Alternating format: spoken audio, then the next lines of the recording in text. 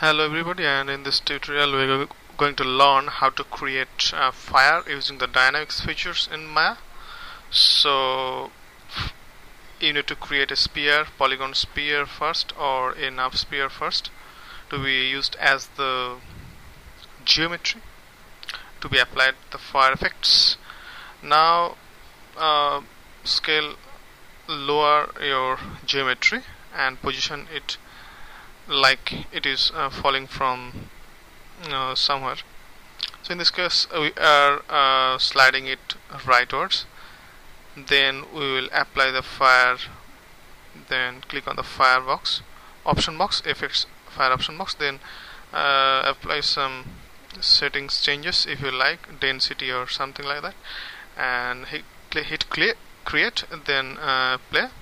As you can see that it is it created the fire and uh, we can actually make the animation process now. So first select select the object and uh, select the channel properties and right click and key selected or key all. Then a key is uh, created at the first of our timeline. So uh, take it rightwards then scroll last time timeline and uh, position it to the left portion that it is like falling mm, and uh, yes position it position it.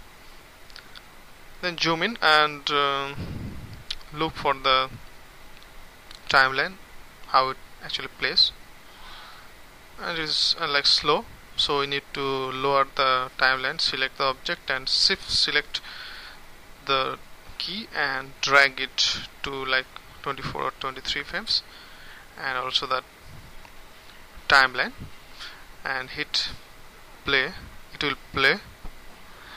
And now that our scene is like set up uh, let's have a render it's looking like it is falling throughout somewhere from somewhere and now select the object.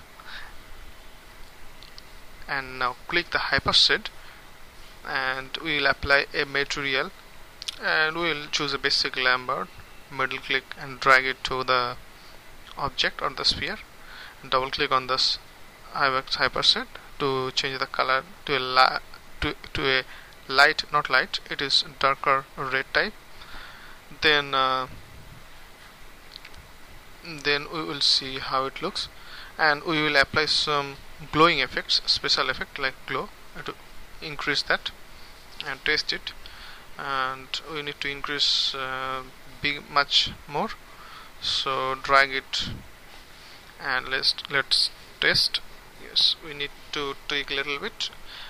Uh, of course uh, you can uh, play with this uh, Hypershade option I mean the Lambert. How it suits yourself. I mean what type of effect effects you are after so it is up to you mm, and what type of material you are going to set. And after that what we will do uh, we will do a sequence of render and uh, I will show you how to do that also. And we will not hide the source because um, people will not fall that think that uh, it is falling like the like only the fire is falling. And click on the actually the rock we will select the rock for the material of the geometry. And it is uh, actually it is upon you what type of material are for we will lower down the material. And now after that just uh, tweak a little bit and um, select the material select the portion. And now we can see that uh, we will render this sequence from left to right right to left sorry. So click on the we will ch change the render settings and click on the Maya software click intermediate and we will change it to we will give a name that is fire and uh, we will also click on select the uh, name dot has dot ext and start in pin 1 to 25 then dimension of the resolution is it is it will be NTSC or something like or HD you like if you like then uh,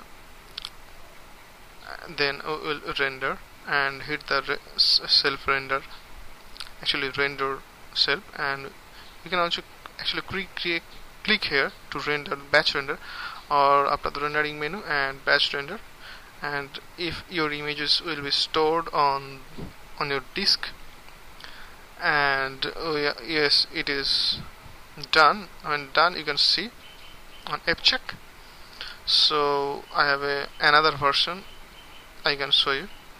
It is a it is like it is much faster than the free than this now we have now. So it is uh, an animation of the fire speeding fire like a ball is going. So that's all. Thank you very much for watching